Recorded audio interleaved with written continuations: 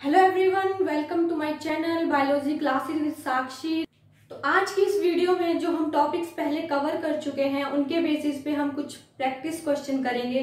तो चलिए शुरू करते हैं अपना आज का टॉपिक फ़र्स्ट जो क्वेश्चन है read the following statements about asexual reproduction and select the correct ones question में हमें स्टेटमेंट्स को पढ़ना है जो नीचे दी गई हैं और उनमें से करेक्ट स्टेटमेंट्स को चूज़ करना है। तो फ़र्स्ट स्टेटमेंट है it involve a single parent ये स्टेटमेंट बिल्कुल करेक्ट है, क्योंकि हमें पता है ए सेक्सुअल रिप्रोडक्शन में सिंगल पेरेंट की इन्वॉल्वमेंट होती है। सेकेंड स्टेटमेंट है it produces progeny that are genetically identical with the parent but not with one another ये स्टेटमेंट रॉन्ग है, क्योंकि जेनेटिकली आइडेंटिकल वो अपने पेरेंट के भी होते हैं और एक दूसरे के भी होते हैं जो डॉटर सेल्स बनती हैं। It is slower than sexual reproduction ये स्टेटमेंट भी बिल्कुल गलत है।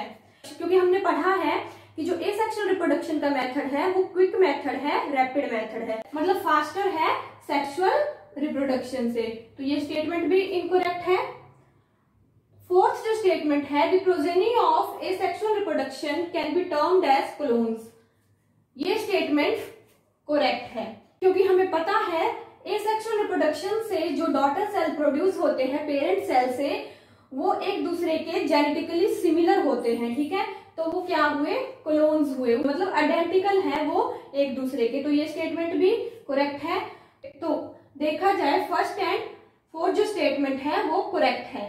तो आंसर है थर्ड सेकेंड क्वेश्चन है, when the gametes of two different strains fuse each other then this process of reproduction is, is asexual reproduction, vegetative reproduction, sexual reproduction, none of these मतलब इनमें से कोई भी नहीं तो इस क्वेश्चन का जो राइट right आंसर है वो है ऑप्शन थर्ड सेक्सुअल रिप्रोडक्शन इसके बारे में हम पढ़ चुके हैं जब हमने सेक्सुअल रिप्रोडक्शन की डेफिनेशन के बारे में पढ़ा था क्वेश्चन नंबर थर्ड है which of the following is not a type of asexual reproduction in organisms मतलब इनमें से ऐसा कौन सा टाइप है जो ए सेक्सुअल रिप्रोडक्शन का पार्ट नहीं है या ए सेक्सुअल रिप्रोडक्शन का टाइप नहीं है ऑर्गेनिजम्स में? तो ए सेक्सुअल रिप्रोडक्शन के हम टाइप्स पढ़ चुके हैं। फ्रेगमेंटेशन भी है वेजिटेटिव प्रोपगेशन मेथड से भी ए सेक्सुअल रिप्रोडक्शन होती है बडिंग मेथड से भी ए सेक्सुअल रिप्रोडक्शन होती है तो मतलब है फर्मेंटेशन जो है, वो इनकोरेक्ट ऑप्शन है। फर्मेंटेशन का प्रोसेस रिप्रोडक्शन से रिलेटेड नहीं है। तो ऑप्शन फोर जो है करेक्ट आंसर है, क्योंकि इसमें हमें देखना है कि कौन सा टाइप नहीं है, ठीक है? नेक्स्ट क्वेश्चन है है clones are individuals that have exactly same life span physiology growth rate या जेनेटिक मेकअप तो हमें पता है, जो क्लोन्स हैं, उनका जेनेटिक मेकअप सिमिलर होता है अपने पेरेंट सेल से भी और वाटर सेल्स का भी एक दूसरे से। नेक्स्ट जो क्वेश्चन है sugar cane is propagated by leaf buds root cutting stem cutting और सीड तो वेजिटेटिव प्रोपागेशन का जो स्टेम कटिंग का मेथड है, हमने उसका एग्ज़ाम्पल देखा था कि शुगर केन में उस मेथड से प्रोपागेशन होती है तो इस क्वेश्चन का जो राइट आंसर है, वो है option third stem cutting next जो क्वेश्चन है asexual reproduction in penicillium fungus usually takes place through budding option two है कोनिडिया ऑप्शन थ्री है फिजन ऑप्शन फोर है गैम्यूज तो हमने जब एसेक्सुअल रिप्रोडक्शन के टाइप्स पढ़े थे, उनमें हमने स्पो फॉर्मेशन का एक टाइप पढ़ा था। उसमें हमने एग्ज़ाम्पल देखा था कि कोनिसिलियम फंगस जो है, उसमें कोनिडिया स्पोर्स बनते हैं।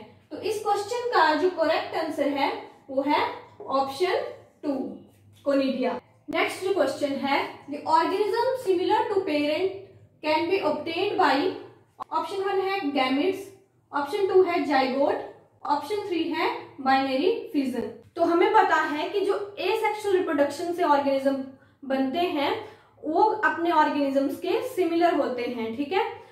तो हमें पता है गैमिट्स सेक्सुअल रिप्रोडक्शन में बनते हैं जाइगोट भी सेक्सुअल रिप्रोडक्शन में बनता है। तो इस क्वेश्चन का जो करेक्ट आंसर है, वो है बाइनरी फ्यूजन क्योंकि हमें पता है ये ए सेक्शुअल रिप्रोडक्शन का टाइप है।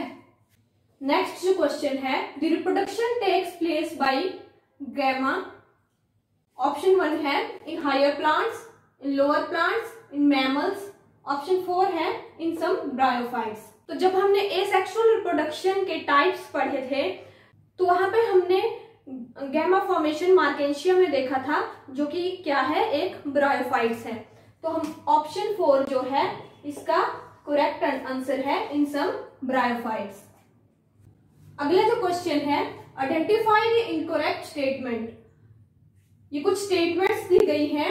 हमें क्या करना है? हमें इनकोरेक्ट स्टेटमेंट को चूज़ करना है या आइडेंटिफाई करना है, ठीक है? तो फ़र्स्ट स्टेटमेंट है in a asexual reproduction the offsprings produced are morphologically and genetically identical to the parent हमें पता है कि ए एसेक्सुअल रिप्रोडक्शन में जो ऑर्गेनिज्म बनते हैं तो वो अपने पेरेंट के सिमिलर होते हैं। तो ये स्टेटमेंट करेक्ट है। सेकंड जो स्टेटमेंट है zoospores are sexual reproductive structures तो जब हमने एसेक्सुअल रिप्रोडक्शन के टाइप्स पढ़े थे तो उसमें हमने एक टाइप पढ़ा था स्पोर फॉर्मेशन तो उसमें जो है डिफरेंट डिफरेंट टाइप के हमने स्पोर्स पढ़े थे zoospores conidia. Sexual production की स्ट्रक्चर्स तो ये नहीं है। तो ये वाली स्टेटमेंट जो है इनकोरेक्ट लग रही है। थर्ड स्टेटमेंट भी देख लेते हैं। Conidia are asexual structure in penicillium ये स्टेटमेंट भी करेक्ट है, क्योंकि पेनिसिलियम में कोनिडिया बनते हैं। तो इस क्वेश्चन का जो इनकोरेक्ट स्टेटमेंट है, वो है स्टेटमेंट सेकंड नेक्स्ट जो क्वेश्चन है blank is not a method of vegetative propagation first option है ग्राफ्टिंग सेकंड ऑप्शन है कटिंग थर्ड ऑप्शन है लेयरिंग फोर्थ ऑप्शन है लाइटिंग साइकिल तो हमने जो वेजिटेटिव प्रोपगेशन के टाइप पढ़े थे तो उसमें हमने ग्राफ्टिंग का मेथड भी पढ़ा था कटिंग टाइप से भी होती है वेजिटेटिव प्रोपगेशन लेयरिंग से भी होती है। तो ऑप्शन फोर जो है, वो करेक्ट आंसर है। तो वही बात है, अगर हमें चार में से तीन स्टेटमेंट्स के बारे में भी पता है और फोर्थ स्टेटमेंट के बारे में नहीं पता है, फिर भी हम अपने आंसर तक पहुँच सकते हैं, ठीक है? तो इस क्वेश्चन का राइट right आंसर है लाइटिक साइकिल तो अगर आपको मेरी वीडियोस अच्छी लगती हैं तो प्लीज़ वीडियोस को शेयर कीजिएगा और मेरे चैनल को भी सब्सक्राइब कीजिएगा। Thank you